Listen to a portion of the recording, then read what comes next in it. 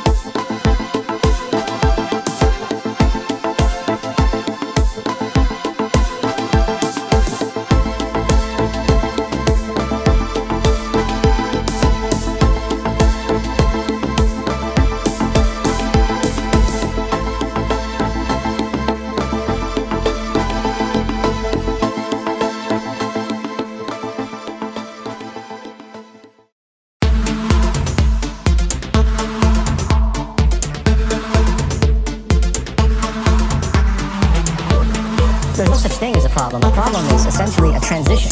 So I see the crises of today as a transition point for humanity.